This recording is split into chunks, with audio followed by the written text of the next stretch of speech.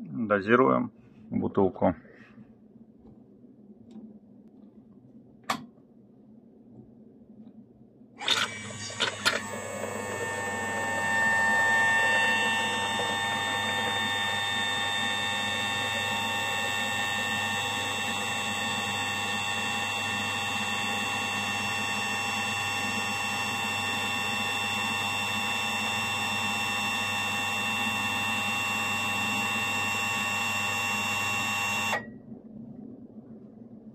Такой аппарат.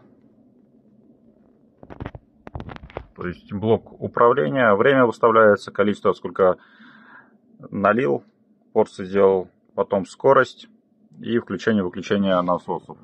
Насос магнитный, шестеренчатый. Качали жидкое мыло. То есть тут стоит клапан от последней капли.